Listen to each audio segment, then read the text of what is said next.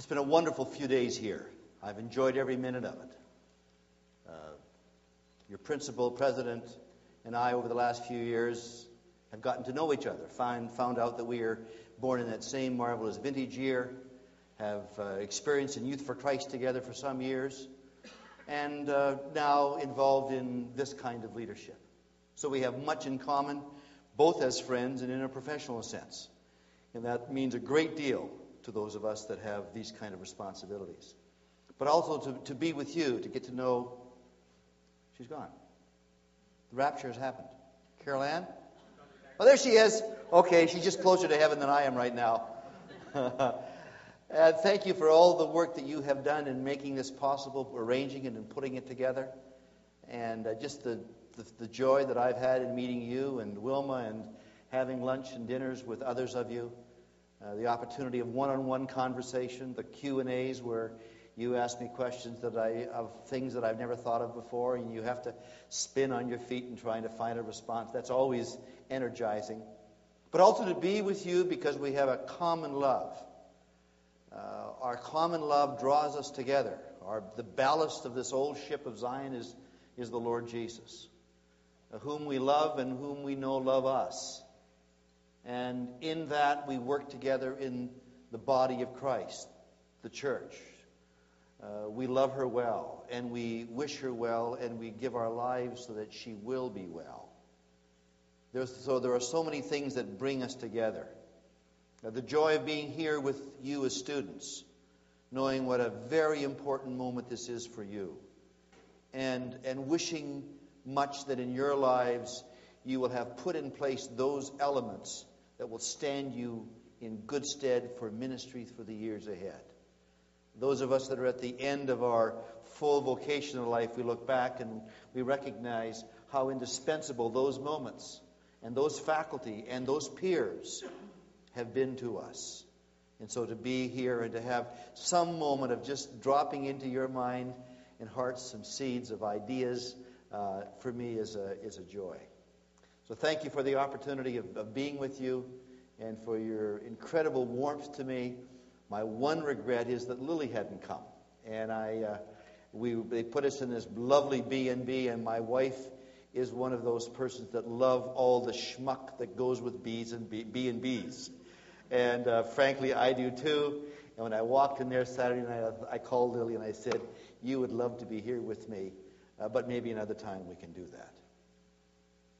Couple of things that I want to just say at the, at the outset.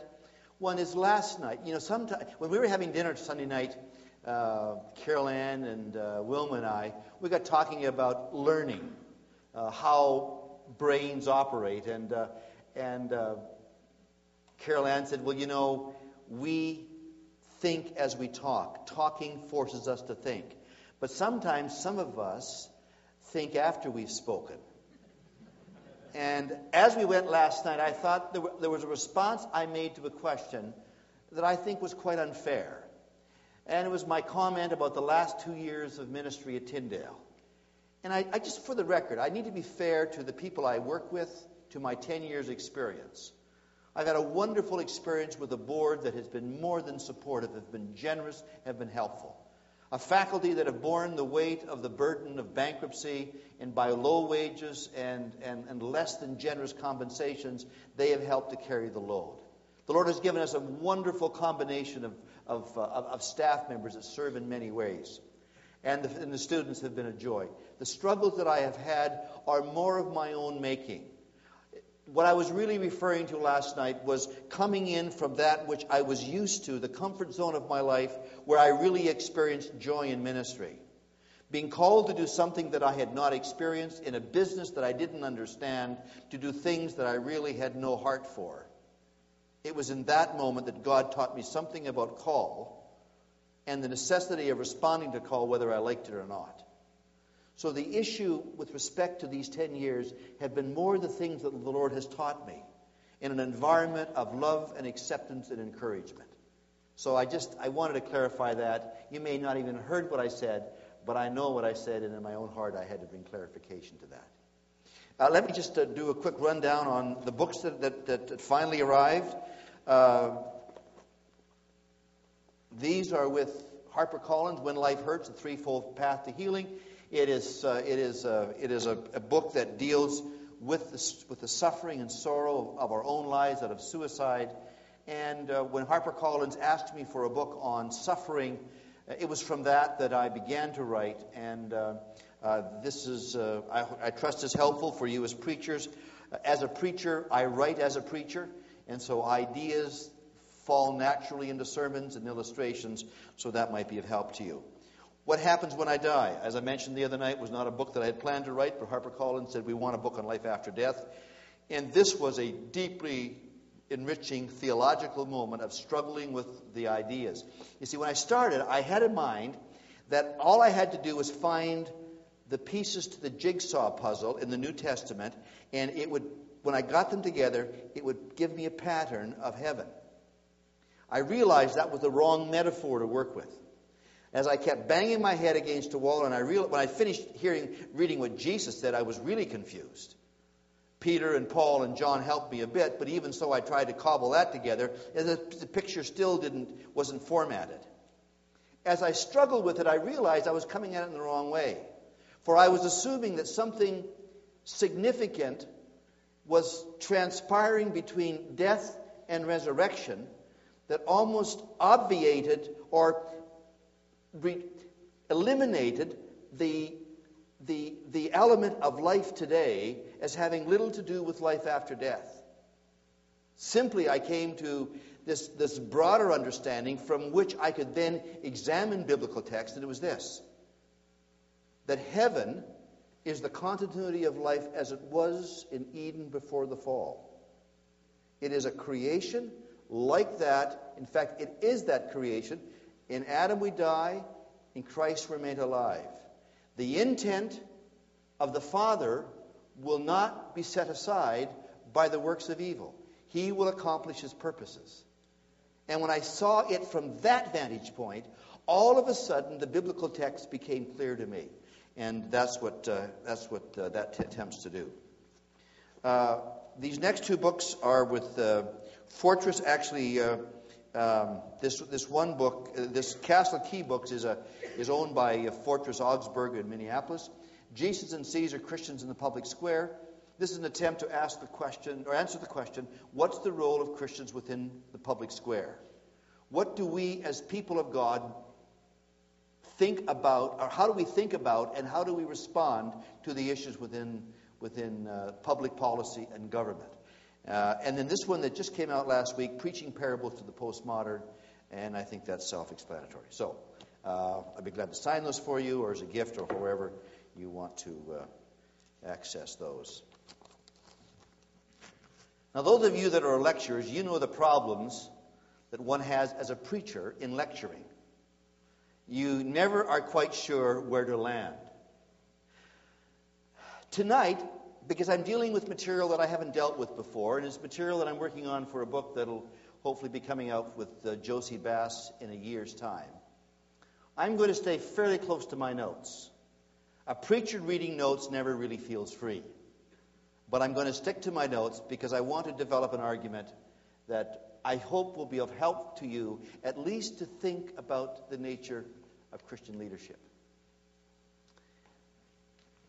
Greenleaf wrote, Greenleaf wrote a book in 1977 called Servant Leadership.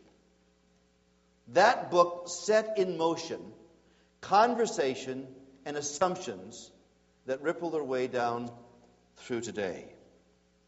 It's as if to be a servant leader says it all.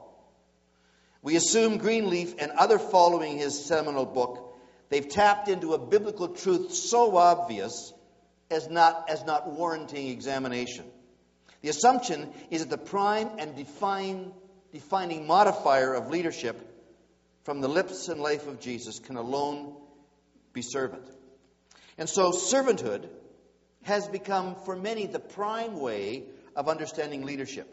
Greenleaf said, I quote, My greater joy is that, that more of those who are natural servants, who get joy of our serving, will become aggressive builders of serving institutions. End of quote. Embedded in his assumptions are that people with a servant's heart can become leaders. I think the kingdom works the opposite. It takes those gifted to lead and transforms the person, engrafting into the stem of the person's life a servant's heart.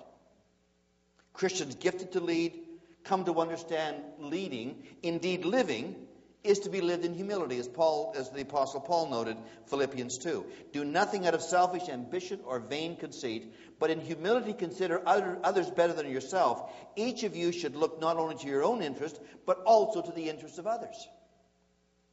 We're, we are to submit our lives to the constraints of his calling. We serve him, and in so doing, serve the world of his doing. It began in the garden. We were called as co managers into creation. And this co managerial role was by its nature a calling to understand and look after the earthbound creation. Old Testament laws were crafted so as to inhibit unfair treatment, requiring leadership to be responsive to Yahweh's call. Leaders in Israel's life were to care for the needs of the people, offering wisdom, ensuring justice, building a society in which people would be, would be treated fairly and in security. Jesus, as the fulfillment of the law, makes the call even more explicit by demonstrating the ultimate act dying for his enemy. Now, we extrapolate from biblical texts an assumption that living with a servant's heart is, a, is particular only for Christian leadership. But surely that misses the point. Servanthood is a universal Christian calling. Thus, a leader, like every Christian, is to serve. So, to say that one is to be a servant leader is to state the obvious. A Christian leader serves as should anyone who calls themselves by the name of Christ. Servanthood is but one, central, but only one characteristic of Christian leadership. But is it only for leaders? It is the common characteristic that should carry itself for all Christians. The unfortunate implication of Greenleaf's theses is that servants make the best leaders. Again, while Christian leaders are to be servant in spirit, to use quote unquote servant as the prime modifier for leadership is to be blind to the notion of the gift of leadership and what God requires of those who lead. And further, it misses what I believe to be the central dynamic of kingdom life. Yes, Jesus became a servant and made it clear that too was to be our ruling paradigm. As a crucified one, he continued as Lord of life. And as much as we are giving latitudes to make choices, latitude to make choices, and even as he did while on earth, set aside his right and prerogative to rule with defining power, remember he still is God of creation and Lord of life, and we aren't. Our understanding of servanthood as a ruling vision of Christian life it still operates within this wider framework of creational authority. Understanding this matters. It sets being a servant within that understanding. Biblical leadership does have a, a creational mandate. The giftings of the Spirit come from God to us so that we will use them for kingdom life. He has put in place leadership, always operating as servants, both in spirit and action. This does not permit one to lead dictatorially or to assume that authority makes one impenetrable. The New Testament metaphors remind us by the, by the metaphor of body that we are a fellowship, we are not a business. But even so, pastors are responsible to the Lord and to the body for their leadership. And so let me just be clear at the, at the beginning. We're called to be stewards of His creation. Jesus made it clear to where to use the towel. Jesus fits us all for the role of servanthood. However, to make it the only modifier of leadership is misleading. Again, let me say, we are called to be servants. Jesus said it. In demonstrating servanthood, he continued his feet washing of the disciples with, Now that I, your Lord and teacher, have washed your feet, you should wash one another's feet. I have set you an example that you should do as I have done for you. John 13, 14. He responds to the mother of Zebedee, who asked that her sons, his disciples, be given special honor in the kingdom with this, with this sharp rebuke. Whoever wants to become great among you must be your servant, and whoever wants to be first must be your slave, just as the Son of Man did not come to be served, but to serve. Matthew 20, 26. Anyone who chooses to follow Jesus is inevitably challenged by what he did. antithetical to his culture, foreign to the invading nations that held Israel captive, he shows them a countercultural model. As he came to be a servant, so we, his followers, are to be servants. It thus follows that leaders, at least those who call themselves by Jesus' name, too are to be servants.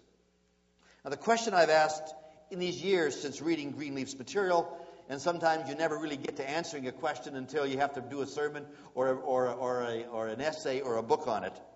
But as I've thought about Greenleaf's material and the countless books and articles sounding the thesis that Christian leaders are primarily defined as servants, is this. What then are we to do? You see, leaders with a serving spirit, for all Christian leaders should be servants, are to do something. In our serving as leaders, what might Christ expect of us? You see, he didn't come as a servant and then do nothing. So, my interest is this as a leader, what am I to do in leading? I think a good place to start is a mission statement. What's the mission statement of Jesus? When I came to Tyndale 10 years ago, I knew that what was needed was a mission statement. They had ideas of who they, who they wanted to be, what they were doing, but we had two schools an undergraduate and a seminary. And so what we did was spend a number of months. We agreed we would come up with a short statement that we could easily memorize. Had to be under 20 words. And it's one thing to do a sermon of 40 minutes, but the hardest thing in the world is to do a sermon of five minutes. A mission statement is a challenge. So we came up with a simple mission statement to educate and equip Christians to serve the world with passion for Jesus Christ. Now, I have fun exegeting that mission statement. We'll leave that for my next lectureship here. What was the mission of Jesus? What was he all about? What was at the very heart of his coming? Well, we don't go very far in the Gospels until we find what it is. Matthew. He said early, Jesus began to preach, Repent, for the kingdom of heaven is near. Matthew 4:17. As he moved up into Galilee, going into synagogues, Matthew writes, preaching the good news of the kingdom. Matthew 4:32. You go over to Mark, and he points to Jesus marching from his encounter with Satan, speaking with those who would listen, quote, "The kingdom of God is near, repent and believe the good news." Mark 1:15 trace through his life. And time after time, we learn his mission was to introduce his kingdom. That was his calling. That's what he, that's what he articulated. And that's what's ours as well. Christian leadership is to do what he came to do. And what did his kingdom do? What did his kingdom do? It transformed, it recreated. A fix up was not enough. When you get home tonight, take the scriptures, or in the middle of your lecture tomorrow. No, no, don't do that. Take the scriptures, any one of the Gospels and Acts, and just flip through the pages and look at the headings. And what's the common denominator of all of those sections? Whether it's the actions or the teachings of Jesus, it's transformation, healings, deliverance demonic, feeding of large group, walking on water, the list goes on. And then you come to the Sermon on the Mount. And as, uh, as Jonathan Wilson said yesterday, the Sermon on the Mount or the teachings of Jesus takes that which is turned upside down and turns it the right side up. The teachings are radical. They're transforming. They are changing. It's not a covering of therapy to generate good feelings. Rather, he takes us from where we are where people were to where he wills them to go. Note his words with the Jewish scholar Nicodemus. It couldn't be clearer. He said, Until you are changed from above, you will know nothing about this kingdom. In response to Nicodemus' question, We know you are a wise person, but where do you come from and what are you about? I love, I think, what is, what is, what is uh, central to the understanding of the kingdom is the parable of the seed. And Jesus said, Unless a corn of wheat fall into the ground and dies, but if it dies, it forever remembers single. But when it dies, well, it doesn't really, but it smells like it, it looks like it, it feels like it. Unless it dies, it won't reproduce. The kingdom isn't about armies or bank accounts or national boundaries. It isn't that the kingdom does not affect them, but the kingdom is really about his reign. The kingdom. What's the kingdom? It's about the king and his domain. Kingdom. The domain of the king. And what's the domain of the king? His creation. As Abraham Kuyper reminded us, that there's not one square inch of creation that God doesn't say, mine.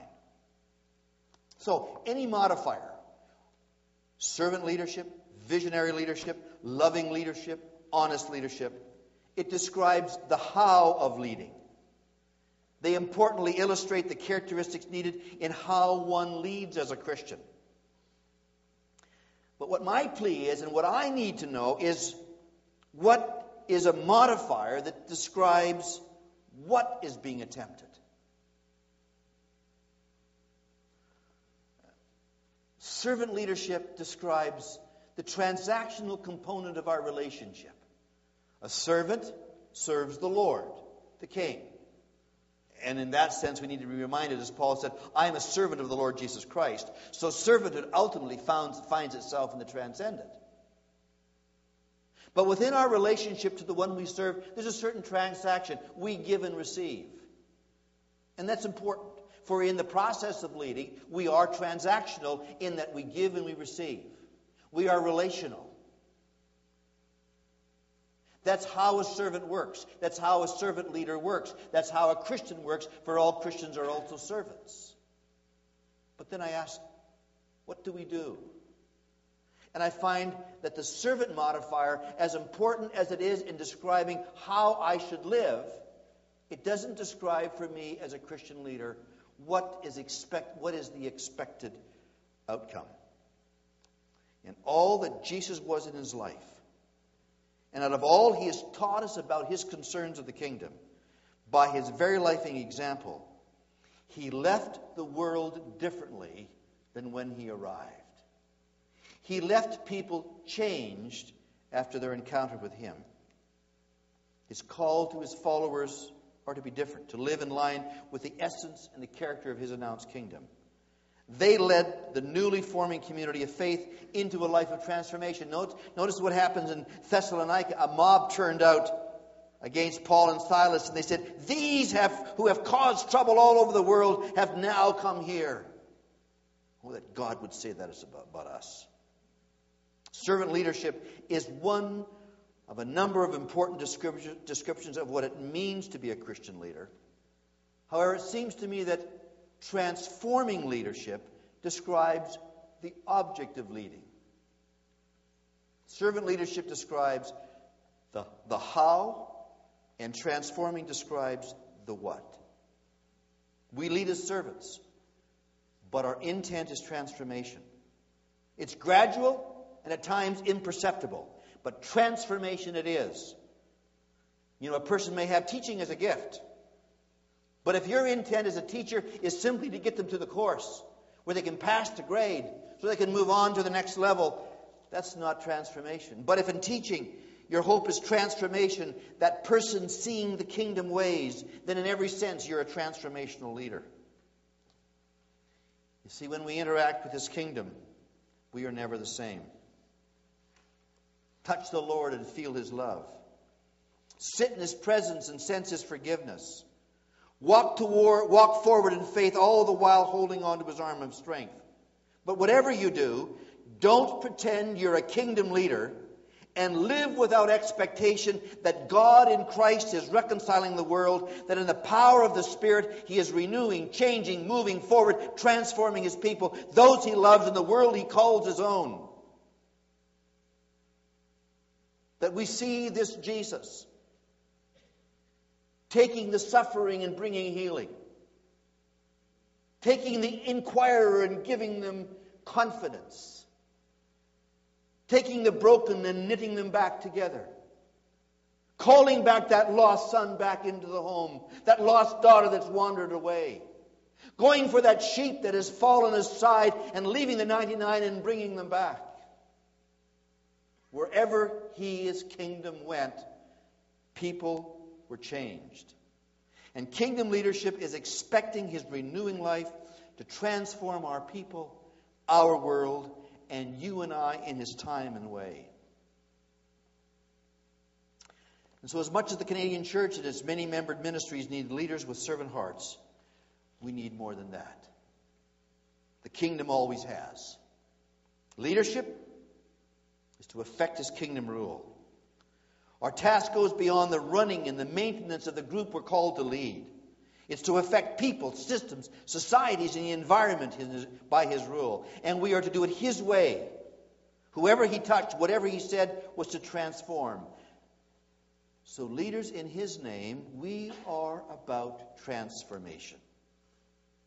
I think there's nothing that so characterizes Christian leadership as transformation. Yes, servants. That's our MO, that's our modus operandi. Let me suggest six important characteristics of transforming leadership. First of all, a transforming leader confronts death that results from giving into the status quo. We understand that the status quo is death. I love that little line in Hebrews 11, the story of faith, the chapter of faith.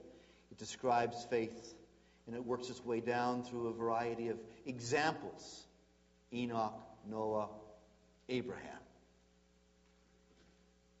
Abraham was called to go out from where he was. He was called to leave. There was movement involved in the call. Being stuck in the status quo does not live in the expectation of change. I get asked, Dr. Lee, and I'm sure as you do as well, we need leaders. I get calls on a regular basis from congregations, from missions, from ministries. We're looking for a CEO. We're looking for a president. We're looking for a principal. And the question inevitably comes where are our leaders? We have many who can lead meetings and organize events. But to find a transformational leader is to find someone who can see the death inducing spirit of the status quo. Religious circles tend to foster the comfort of things continuing to be as they have always been. Churches tended by members whose likes and preferences become embedded in the form and structure get stuck in the maze of their own memories. Songs precious to their walk of faith becomes the only ones we are permitted to sing. But creation surely is about renewal. Every fall, the plants die, the leaves fall off, the grass turns brown, the snow comes. Then the melting comes. It felt and smelt like that today, didn't it? Spring comes. Plants come back to life. Trees bloom with leaves and the green and the grass turns lush green. So, why do we think organizations should stay as they are? You can tell a transformational leader by their lack of comfort with things as they are. Secondly, leaders are not just about change for the sake of change. They're trying to build something new so everyone can see, not so everyone can see what they have done. Transfer leader, transfer, transformational leaders are not about themselves, they're about vision. A little story out of Moncton some years ago. I had a sister in law and her husband who were pastors of the Presbyterian Church in Sackville. They told me about a Lillian Marshall. She was a member, I think, of one of your churches in Moncton. It was a Sunday night service. Bob, you know her? I met her sometime later. I wanted to meet this little lady, Pierre. Pierre Allard, thank you. Pierre Allard was chaplain at Dorchester. It was a Sunday night. Was a missionary service, as I understand, at the church. They were singing some of the songs, possibly like, I'll go where you want me to go, dear Lord. You want to tape that? We can maybe try and sell that along with the books, uh, Caroline. And her thought was, Lord, what can I do? I'm a grandmother. My husband is dead. What can I do? The next morning, her pastor called and said, Lillian, there's a woman coming from Alberta. She has a son at Dorchester. She's got no one to stay with her, uh, someone nowhere to stay. Could she stay with you? And Lillian said, I'd love to have her. Lillian had a little uh, insurance brokerage firm, and she was maintaining it just because she was a high energy person, needed something to do. The woman came and stayed with her. And as she was going back some days or weeks later, she said, Lillian, there's no one to visit my son. Would you be willing to? Lillian went down to the Dorchester one day, a little nervous, had never walked. Well, you know what the old one was, about 25 miles out of, out of Moncton up there on the side of the valley, that old looking, frightful monster of a fortress. She said, I walked in, the doors clanged behind me. And she said, I saw a young man across the waiting room. And as I walked toward him, she said, I heard the words, Woman, behold your son. And I looked at him, and the first moment I looked at him, I loved him. And she began to visit with him. Others wanted her to visit them as well. The wonderful thing about, of course, Lillian is that she was of a particular age. I don't want to offend anybody here tonight, and I want to get out of here alive. But she was old enough. you know what I'm talking about. And there was no other kind of interest from these young men except to be loved by a grandmother. But it was her vision for, the, for those young men and her belief that God would bring transformation Remember, Pierre Allard said something remarkable happened in Dorchester those couple of years. He said drug rates were reduced. He said guards started taking lifers home on their day off. And he said, It's one thing when God touches the life of the lifers, but when he touches the life of the guards, you know he's doing something.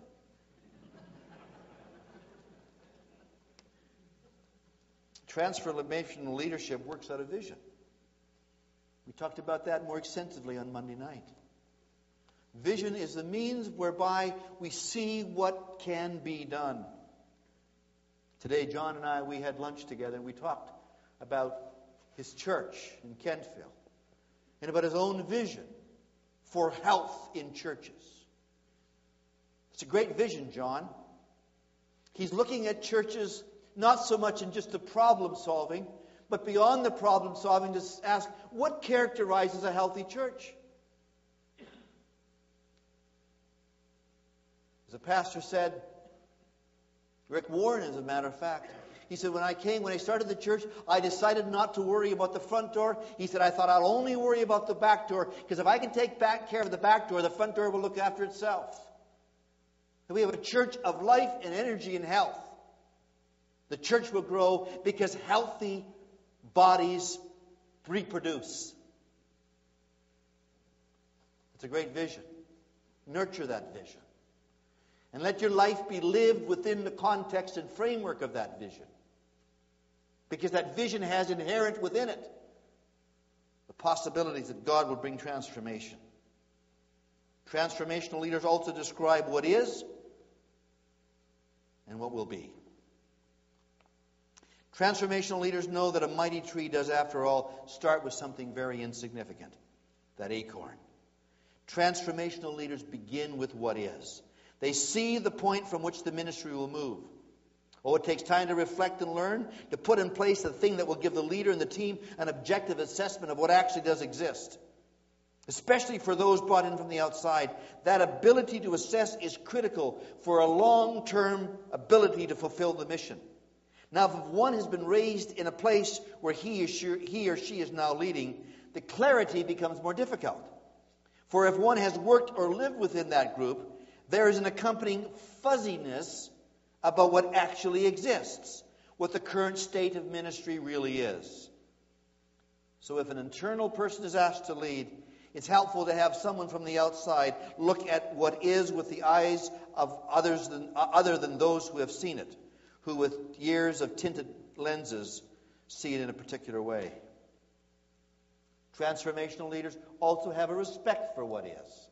I found when I came into the school of a, of a hundred and some years, I had really no acquaintance to the school. I'd preached there a few times, but I had no understanding of its ethos. It wasn't my school undergraduate, graduate, or postgraduate.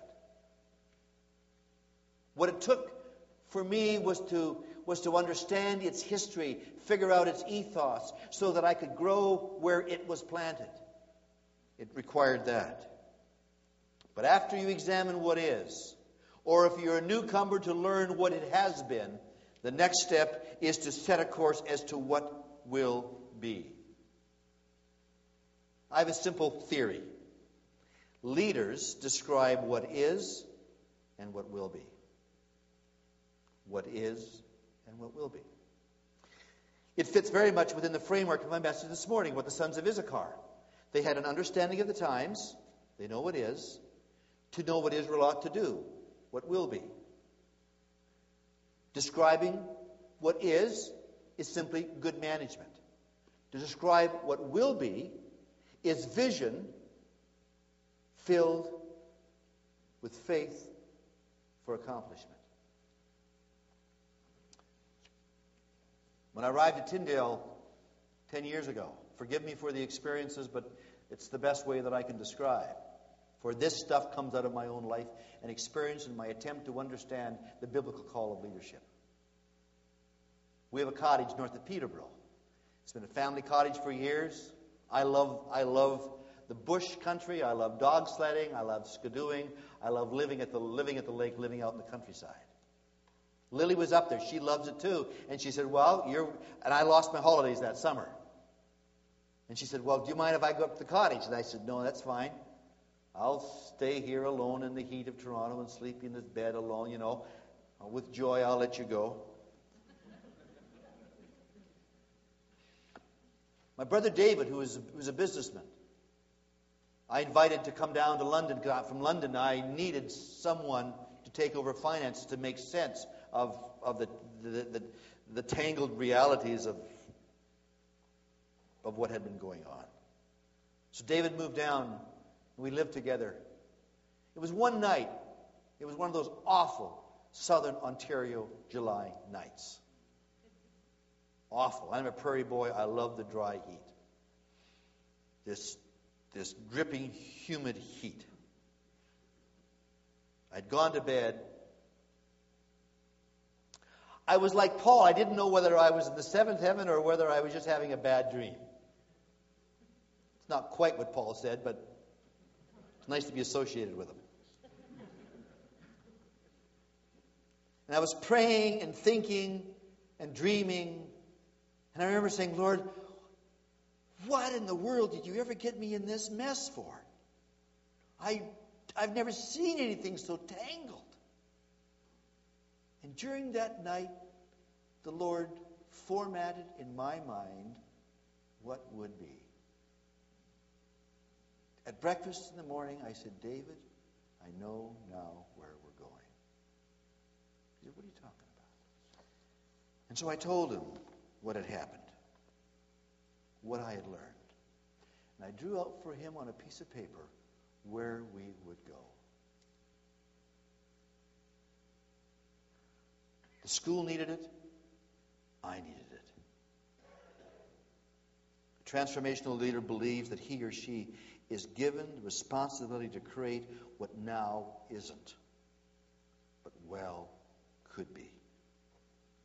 We call people to look up from the disaster at hand and see that in God's good time, with reliance in His provision and guidance, what has been described is and what will we work towards. But fourthly, transformational leaders love, or at least learn to love their ministry. It's more than a job. That's why transformational leadership is more than technique. You can read all the books that you can find, you can take all the courses available, yet without a deep love and affection for the work, you will organize and manage but not bring a transforming presence. No matter how homely, disfigured, or inept the work is, it requires you and I to put our arms of love around, of love around it and own it. Again, I go back to that experience of, of, of working with the school. It's something I had no interest in. It was, it, you know, this, the school didn't even catch my passing interest. As a, and as a married man of some 42 years, I confess now and then, as I walk down the street, there are people that catch my passing interest. You know, I'm not that blind or that dead. but this school didn't catch my interest at all. I was embarrassed about it. It was, it, was, it was a Bible college that should have been thinking about being a university 20 years before. Its, its usefulness as a 20th century ideal had run out of steam. But I realized that one of the things I had to do was say that I loved her. You know, I found after 42 years of marriage, sometimes you always don't feel loving. right? Is this true for you, Tilly? No.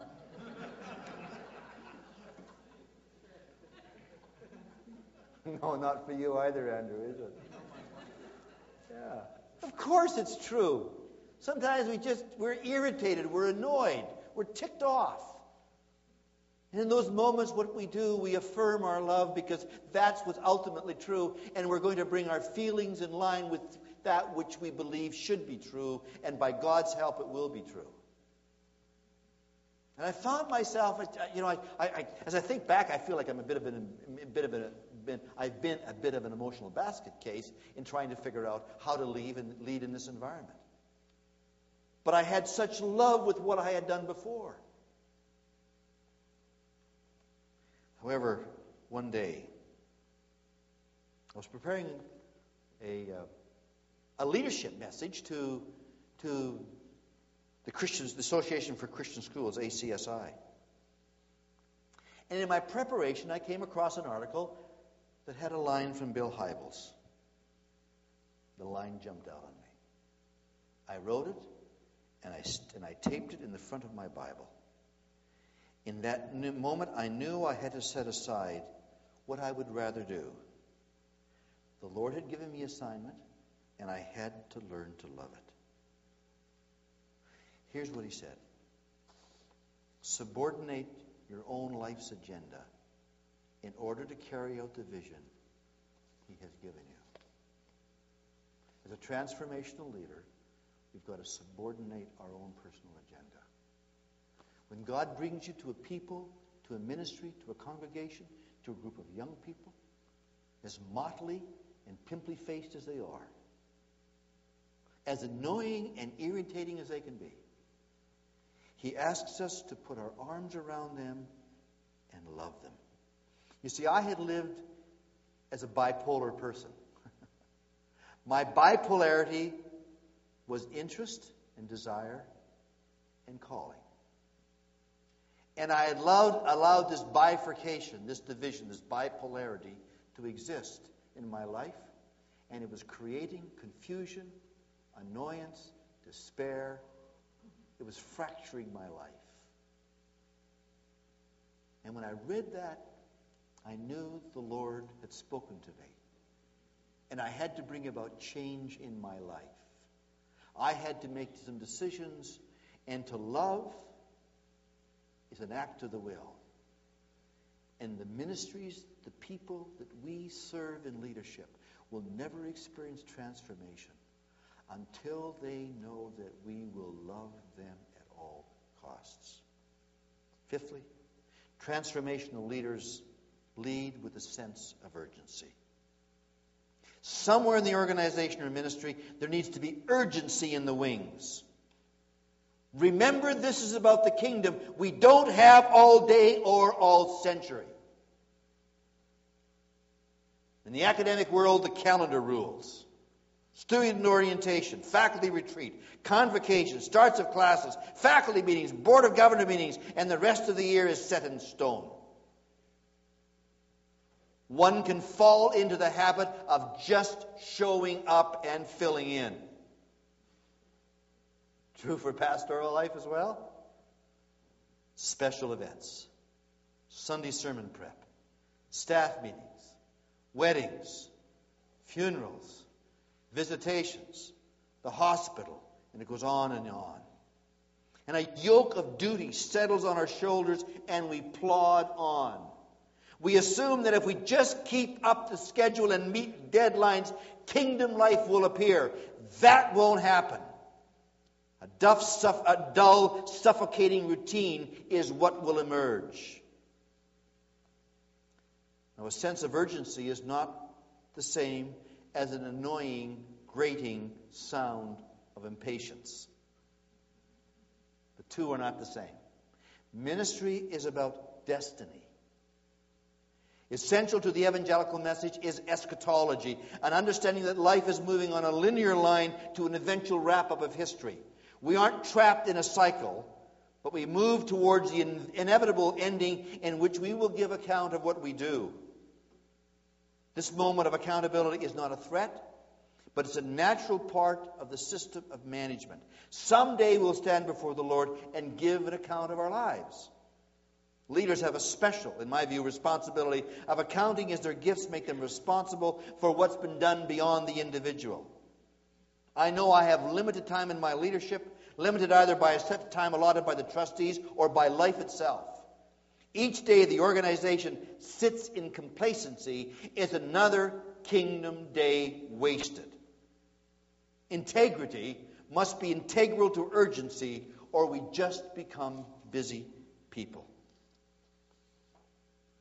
Sixthly, transformational leaders understand that only by the Spirit can transformation take place.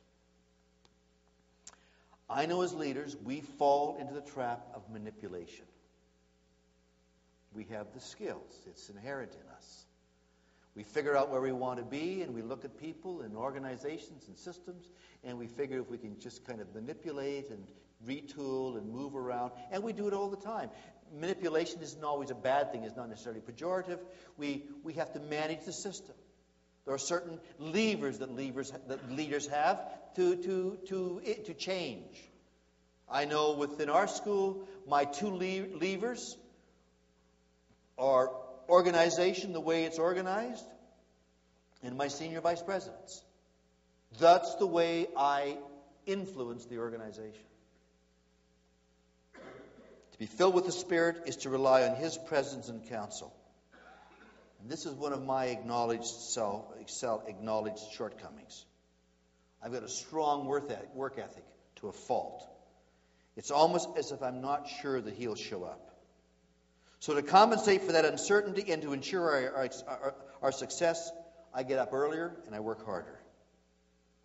Now, I was raised in a church that talks much about the work and life of the Spirit, but I still struggle with believing that the Spirit is already ahead of us, preparing and leveling the ground.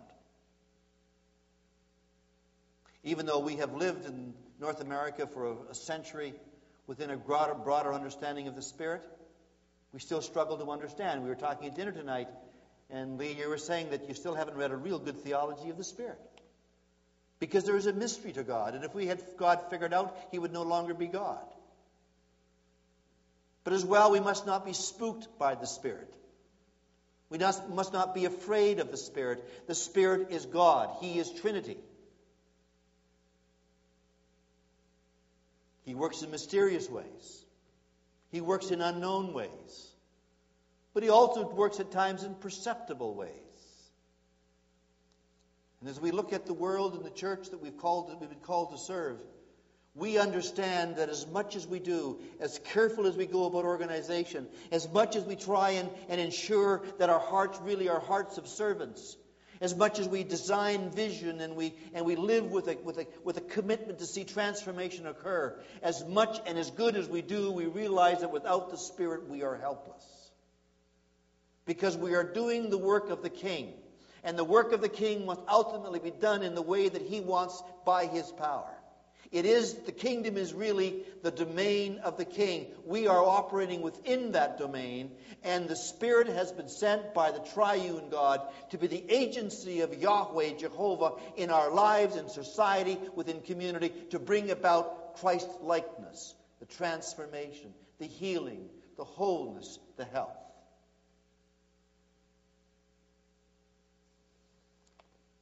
I need to understand what it means to step back. These, tip, these type A personalities have a hard time doing that.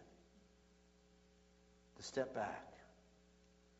Say, Spirit of God, rule and reign. I want to give space in my heart and here in this ministry for your rule and reign. It's a great challenge to be a Christian leader in the 21st century. It's tough. It's messy. At times discouraging. But as, you, as He has called you and you and you and you and you, He's called you because He's chosen to call you. He sees in you what others may not see. He sees in you that you and I might not see in ourselves. But He's called you. He's made you His child. He's lifted you from your own moral failings. He has infilled you with His own Holy Spirit of God. And He calls us to lead the people of God in our own places, in our own ways. My prayer is that in our country, in the 21st century, we will settle for nothing less in our own lives in the lives of our church, for nothing less than transformational leaders. It isn't that we do the transforming, but within the expectations of our role, we expect the Spirit of God to bring transforming, His transforming presence to life of the individuals, to the life of the church and the community and the society. May God give us courage to allow Him to make us transforming. Through Christ, we give thanks and praise. It's a holy calling. We know we aren't worthy. But in your supreme wisdom and rule, within the sublime wisdom of your own being, you allow us, you order us, you instruct us, you move us out. Father, thank you for my sisters and brothers here for their heart, their vision. May we, in our own way, not defined by somebody else's rules or comparing ourselves to anyone else, but within the heart of hearts of our own being, within the gifts of our own capacities, within the environment of our own calling, may we discover that newness of your spirit to recreate, to transform, to make alive again, to renew that the Church of Jesus Christ in our communities will be strong, effective voices, bodies, presence, witness of the living Christ whom we love. We give thanks through your name and your name alone.